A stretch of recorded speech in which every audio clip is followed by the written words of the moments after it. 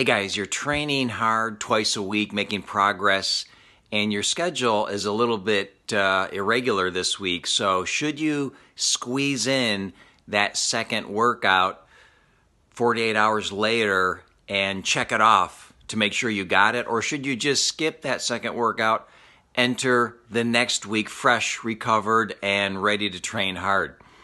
Paradoxically, here you should skip that second workout, not try to squeeze it in to a short recovery cycle because your muscles won't be stronger, won't be healthier with a shorter recovery zone. So there's going to be times when one workout per week is very productive given the general flow of your schedule and your ability to recover from intense full body workouts.